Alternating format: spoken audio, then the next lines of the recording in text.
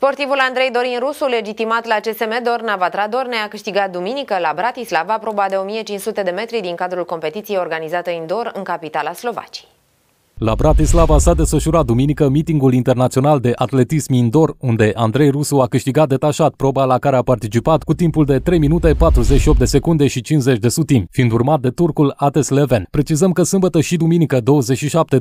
ianuarie a avut loc la Bacău campionatul național de senior, tineret și junior întâi, etapa a doua, unde la finalul competiției în proba de 3000 de metri la junior întâi a sosit Miron Alexandru pe locul 2 și în proba de 800 de metri junior întâi a sosit pe locul 3 Costiu Claudia, care a început atletismul de câteva luni. Sâmbătă și duminică a avut loc uh, campionatul național de senior, tineri și junior 1 la Bacău, etapa a doua, în care sportivii la CSM Dorna Vatradorni s-au întors cu două medale. Una, o medalie de argint în proba de junior 1, în proba de 3000 de metri prin Miron Alexandru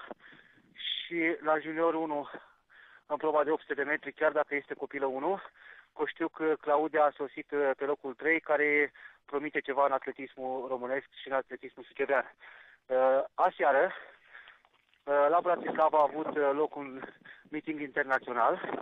în care sportivul Dornean rusul Dorin Andrei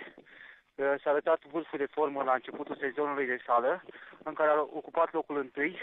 în proba de 1500 de metri,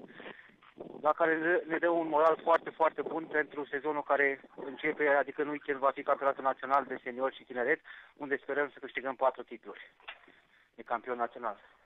în proba de 1500 și 3000 de metri.